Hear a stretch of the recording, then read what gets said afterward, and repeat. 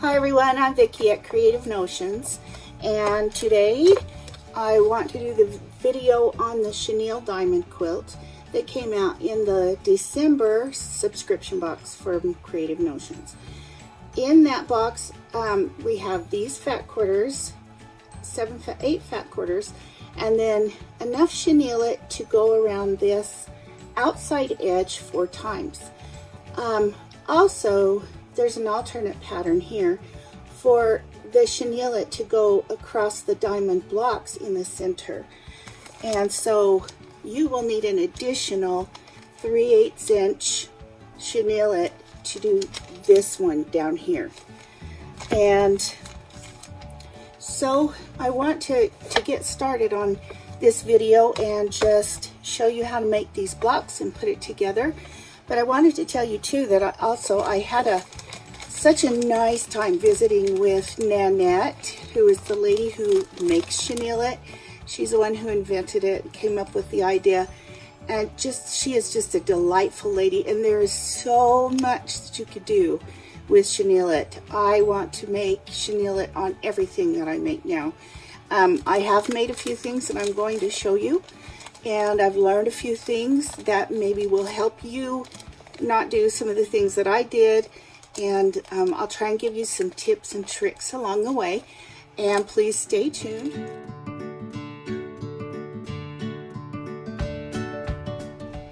I've gone ahead and cut my squares out. I, I will put in a picture of how I cut mine. You can cut your blocks at 9 inches. The block will be cut down later.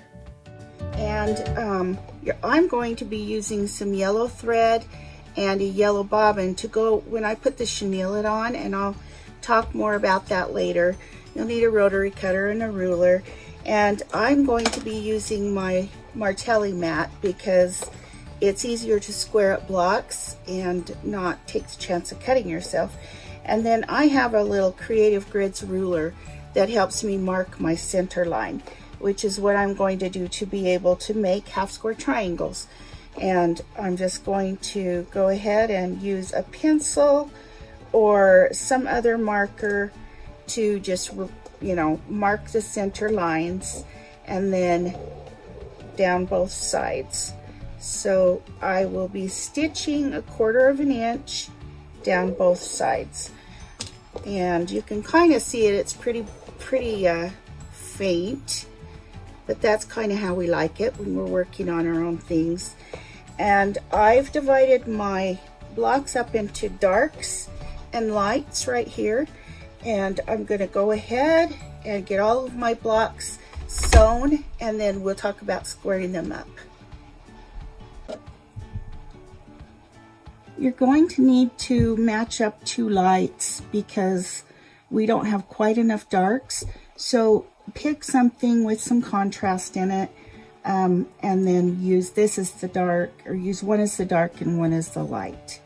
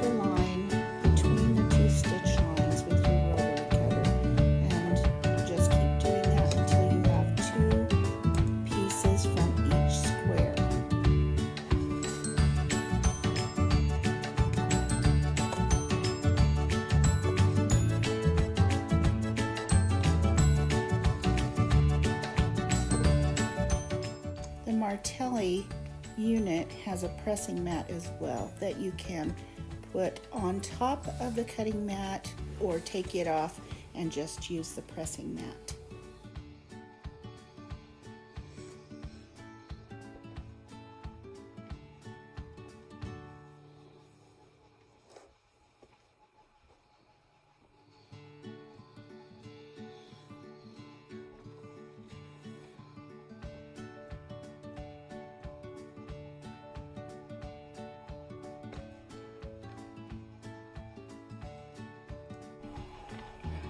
Time for us to square up our blocks. I like to use a square ruler because it makes it easier for me. There's a diagonal line down the center and then we want eight inch blocks. So I'm gonna put some tape right here so it'll be easy for us to tell. This is the kind of tape I'm going to use. It's very thin, but you can, and you can see through it. So I'm gonna turn my ruler over and just below the eight inch mark, or at the eight inch mark, I'm going to just place this tape. It comes off really easy. Okay, so on the other side of the eight inch square, or the square up ruler, you can just mark the other side as well. And when you're through with it, you can pull it off, not a problem.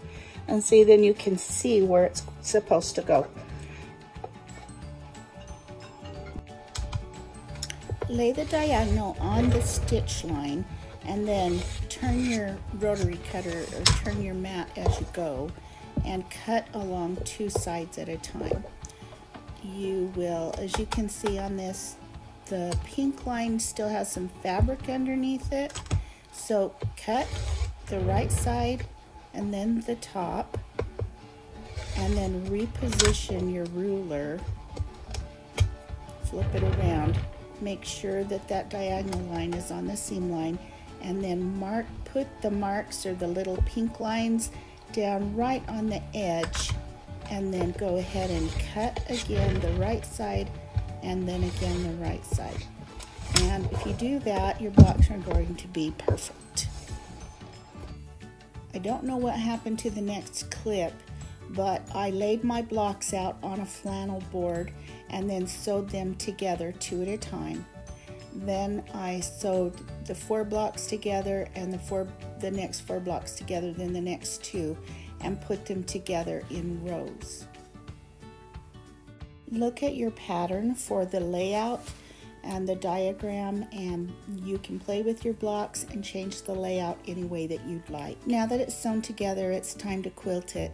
You can use your sewing machine and quilt down the diagonal lines, uh, practice your free motion quilting or whatever you want. Layer it with your batting and your backing and pin it or use spray baste and have fun. This is two layers of chenille on the front and two, two layers of chenille on the back. And look how nice it looks.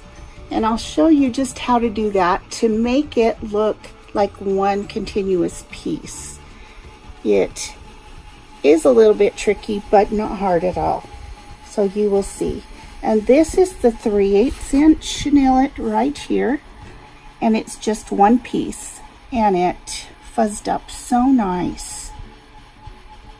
I went ahead and used my long arm because all I have right now is some poly cotton batting, which is a the combination batting, and it has to be quilted about every three inches for it to work well. I was out of just the polyester, which would have been really cute for this baby quilt, but it needed more quilting than I really wanted to do on the machine at this time, the this machine at this time. So I went ahead and quilted that and then I've just cut off my edge like this.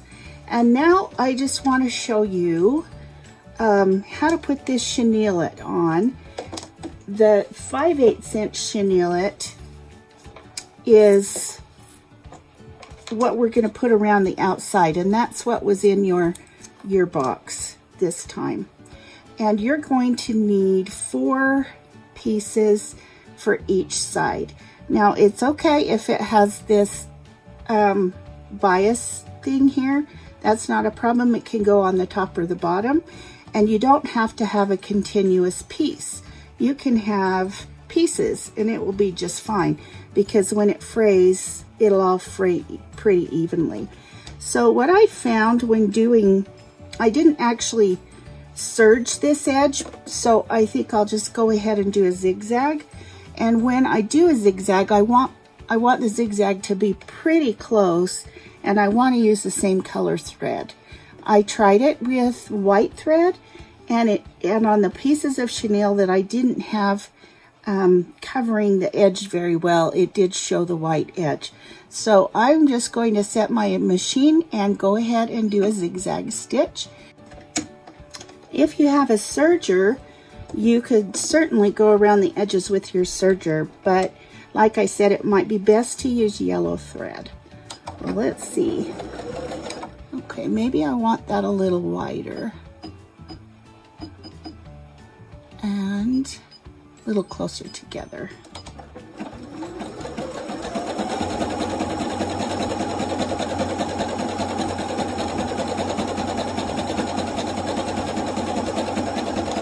So I'll go ahead and do this and meet right back here. I've got two layers of the chenille now and I'm going to put it on the bottom first. Nanette recommended that you sew one side on first and then you like do the bottom first and then do the top. And try to leave an eighth to a quarter of an inch off the side, but the more you leave hanging off the side, the better coverage you're going to get that will cover up this seam. So I'll show you what that looks like. And don't worry if you have to stop and add some more. It You can, um, you can piece it. You can use all kinds of little pieces if you need to. It won't bother the chenille at all. And this is what it looks like on the back. So it should fray up really nice. And that's about how much I'm leaving on the edge on the front just make sure that when you catch this seam right here or the zigzag or the serged edge, make sure you catch it really good when with your straight seam, straight stitch. And I'm going to go ahead and do the outside and then we'll do the top. Put the chenille on the top. It didn't take long at all to go all the way around the outside on the underneath the quilt. So now we'll start over and just put match the edges if you can. It's not, you know, you can do the best you can. It's not rocket science. And then just go ahead and start sewing this down. The only time I ran into trouble really was when I tried to do all four at once because there's times you're going to, as you can see, I'm probably right off the side of the quilt itself. Um, but I know it's attached to the back. So kind of check yourself and make sure that you're um, lined up. And if you have pieces, like this is what I'm using today. It's a mess, but it works. It's still the same stuff. So if I have to, I just cut some off. If I can't find the end, I just cut it off and use it however I can. I'm going to just join this right here, so I'll lay it right on top. And then I'll show you what I do when I get to the corner. You can just twist this and it will be just fine. It'll still fray nicely. Twist it to make the curve and then turn your machine and it will be just fine to do that. And you can do that when you follow letters or any kind of decorative place that you want to put it. Chenille is just really an amazing product.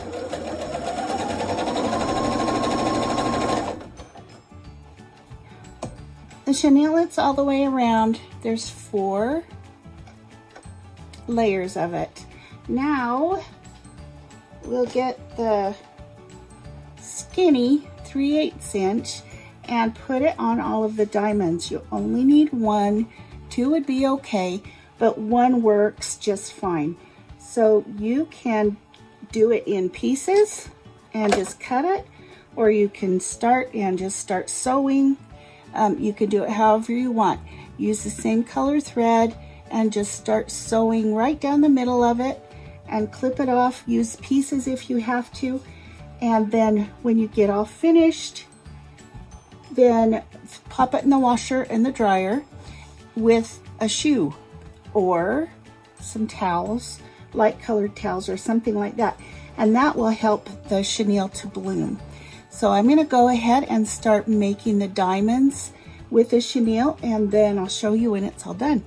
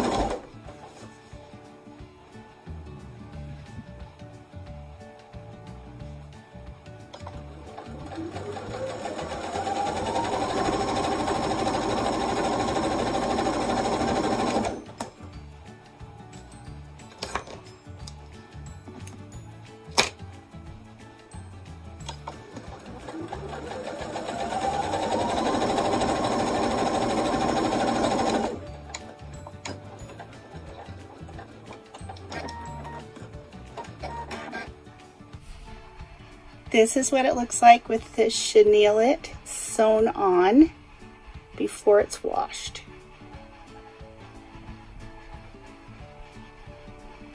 And the nice thing about it is if you're, oh, I missed a spot right there. Better fix that. It, the nice thing about it is that if your intersections don't meet, nobody is gonna ever know. All right, one more spot and then it's off to the wash. This is another project that I made with the Chenille-It and I put it all along the edges and on Meow. If you do raw edge applique at all, it would be fun to put chenille on it, but I do want to show you something. I missed right here, I missed catching the edge of it with the Chenille-It. So all I need to do is go back over that and put another little piece of Chenille-It and just sew it on and then fluff it up with a brush and it will be perfect. This is something that I made that I want to give as a gift and I used Chenille-It on it, but look, I didn't get it close enough to the edge. So I want to show you a trick that embroiderers use when sometimes their bobbin thread doesn't come up. So I have a Sharpie. Let me see where it is there. And I'm just going to color that white thread and look. You'll never know that that happened. So if that happens to you, and your chenille it maybe didn't quite get all the way to the edge, get yourself a Sharpie in the right color and color a little bit. Pretty good, huh? I think it's passable. Anyway, that's a trick from me to you. I thought you might appreciate if it doesn't come out quite the way you wanted it to. Here is the finished quilt. Doesn't it look so cute with the Chenille-It all the way around? I'll get closer and show you what it looks like. That's with the 3 eighths, and this is what the edge looks like. And look at the back, how soft and cuddly. When I got it out of the dryer, I just wanted to hold it and cuddle it because it's so soft. We do have the Minky backing in blue, pink, and yellow available, and it's the same Minky that the Permates were made out of. I can't wait to see what you make with yours and what designs you come up with and what colors you decide to use. Be sure and tell us everything about it and if you enjoyed the project and if you are going to use your chenille it a different way, let us know.